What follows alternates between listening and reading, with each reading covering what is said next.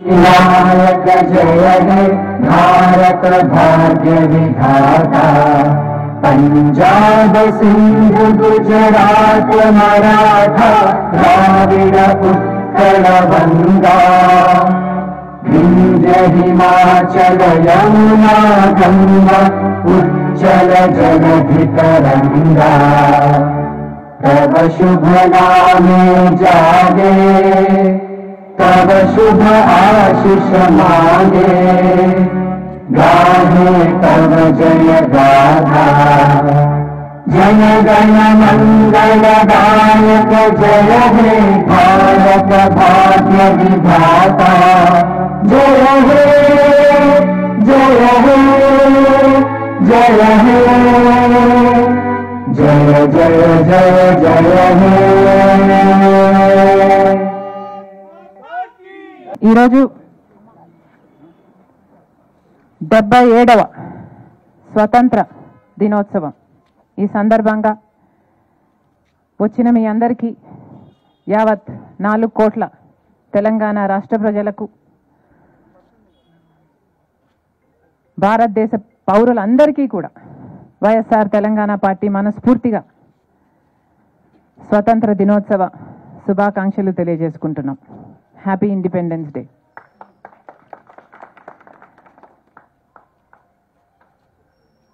భిన్నత్వంలో ఏకత్వం భారతదేశం గొప్పదనం.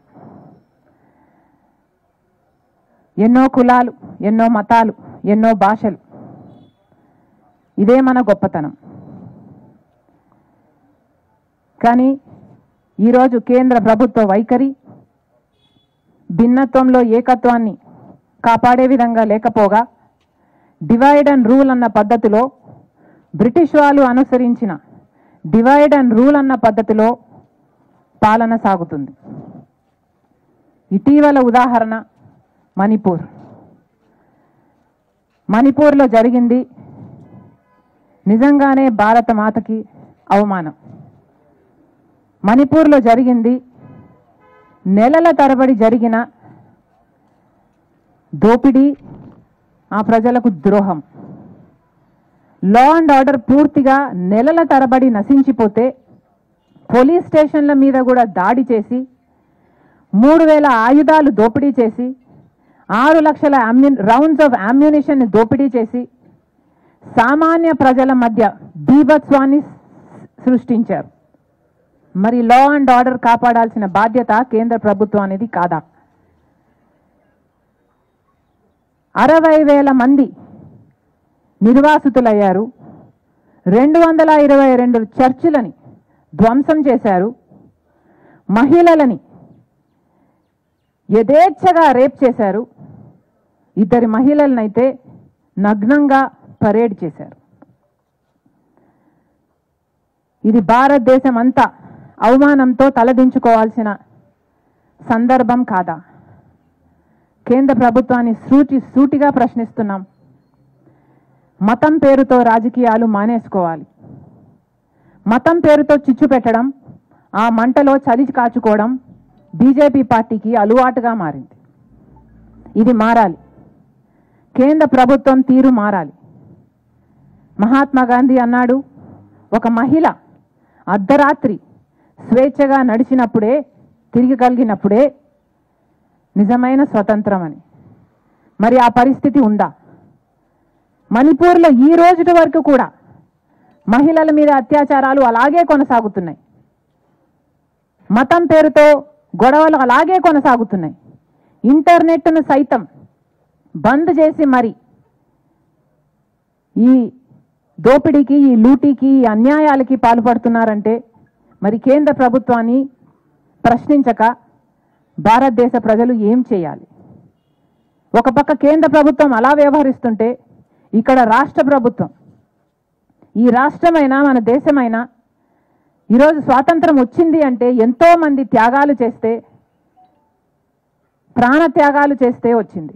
మరొక్కసారి వారందరికీ మనకొచ్చిన స్వాతంత్రానికైనా మన రాష్ట్రంలో వచ్చిన ప్రత్యేక రాష్ట్రమైనా చేసిన త్యాగాలందరికీ మరొక్కసారి వైఎస్ఆర్ తెలంగాణ పార్టీ తరఫున మేమందరము మనస్ఫూర్తిగా నమస్కరించుకుంటున్నాం.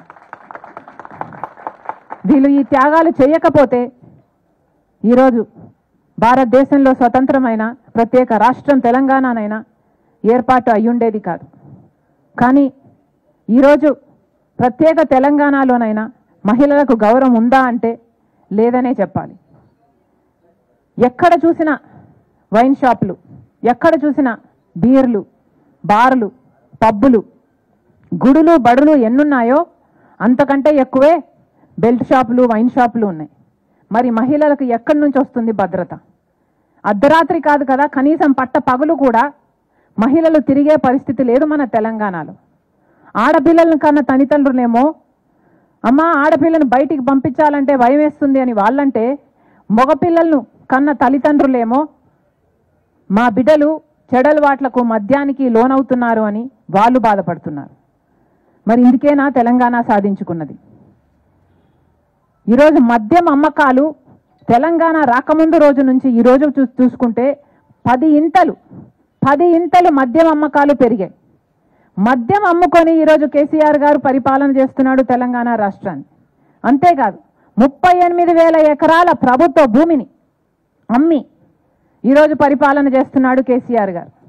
నాలుగు లక్షల కోట్ల అప్పు చేసి మరి అప్పు తెచ్చి మరి రాష్ట్రాన్ని నడుపుతున్నాడు కేసీఆర్ గారు.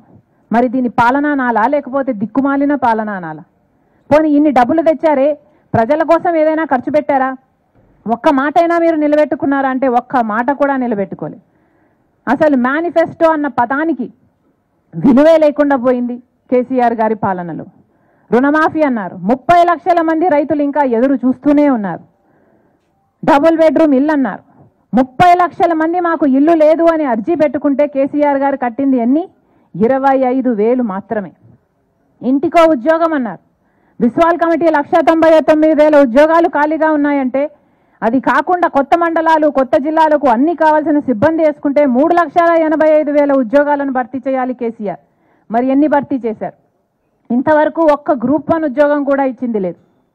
అంటే మన తెలంగాణ బిడ్డలు గ్రూప్ వన్ ఉద్యోగాలు చేయడానికి తగరా? అర్హులు కారా? కేసీఆర్ సమాధానం చెప్పాలి. ఒక్క మాటైనా నిలబెట్టుకున్నాడా? దళిత బంధు అన్నాడు. ఎంతమందికి ఇస్తున్నారు? బీసీ బంధు అన్నారు. మైనారిటీలకు నాలుగు పర్సెంట్ రిజర్వేషన్ ఇచ్చి అన్నారు. ఒక్క మాటైనా నిలబెట్టుకోవడం చేతనైందా కేసీఆర్కు? మళ్ళీ చెప్తున్నాం.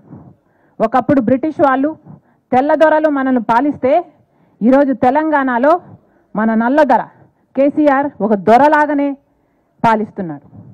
ఈ నియంత పాలన పోవాలి. ఆ తెల్ల దొరలకి ఈ నల్ల దొరకి ఏమీ తేడా లేదు. వాళ్ళు దోపిడీ చేశారు.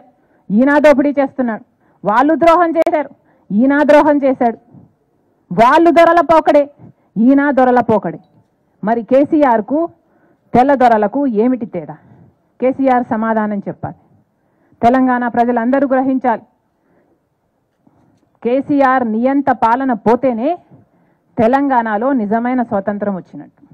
మళ్ళొక్కసారి హ్యాపీ ఇండిపెండెన్స్ డే. మీ అందరికీ కూడా హ్యాపీ ఇండిపెండెన్స్ డే.